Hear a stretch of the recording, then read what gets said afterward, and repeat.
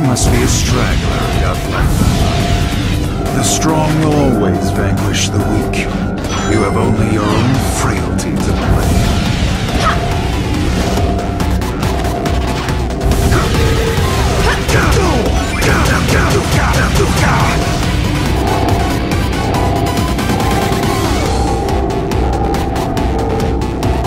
Well, well. It seems behind that